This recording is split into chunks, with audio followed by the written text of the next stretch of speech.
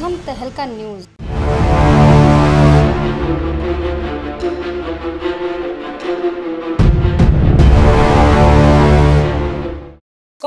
के कथित tool kit का मामला तूल पकड़ता जा रहा है और इस मामले पर जमकर बवाल भी हो रहा है। बता दें कि टूल किट के इस मामले के खिलाफ देश के शीर्ष अदालत में याचिका दायर की गई है तो वहीं हरियाणा के गृह एवं स्वास्थ्य मंत्री अनिल विज ने कांग्रेस के कथित टूल किट वाले मामले पर तीखी प्रतिक्रिया दी है। निशाना साधते हुए उन्होंने कहा कि कांग्रेस तो पहले दिन से ही कोरोना से मिली हुई है। उन्होंने कहा कि इनके पार्टी के नेताओं के बयान तो कोरोना के खिलाफ लड़ाई लड़ने वाले लोगों को निरुत्साहित करने का काम करते हैं। मंत्री अनिल विज ने यह भी कहा कि टूल किट बनाने के कुछ तथ्य सामने आए हैं, जिससे कि वे देश की छवि को बिगाड़ने का काम कर रहे हैं।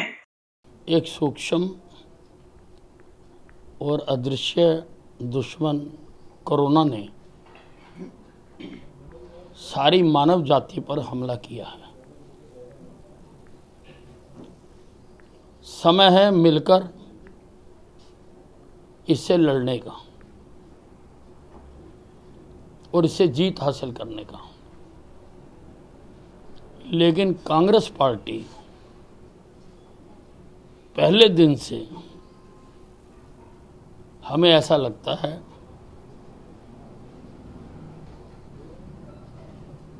कि वो कोरोना के साथ मिली हुई है। और रोज़ाना इनके नेताओं के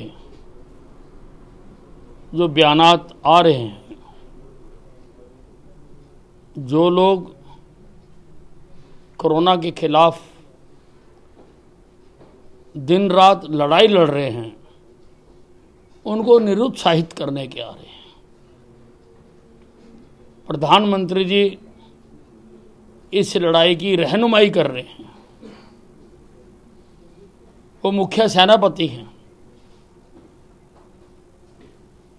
उनके ऊपर भी ये तरह तरह के प्रहार रोज़ाना कर रहे हैं। और अब तो कुछ ऐसे तथ्य सामने आ गए कि इन्होंने टूल किट बना रखी है। जिसके माध्यम से ये इस घड़ी में भी अपनी गंदी राजनीति करना चाहते हैं और कोरोना के खिलाफ छेड़ी गई जंग को डिस्टर्ब करना चाहते हैं। लेकिन ये कभी भी अपने मकसद में कामयाब नहीं होंगे। क्योंकि कोरोना के खिलाफ लड़ाई लड़ने के लिए प्रधानमंत्री जी के आह्वान पर सारा राष्ट्र उठ खड़ा हुआ है और हमें सफलता मिलती नज़र भी आ रही है।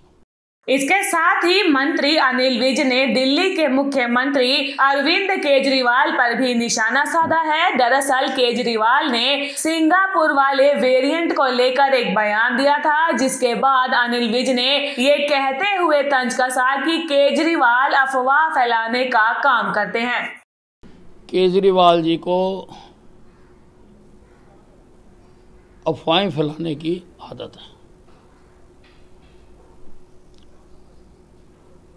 उनको पहले पता होना चाहिए कि सिंगापुर से फ़्लाइट कई दिनों से बंद है।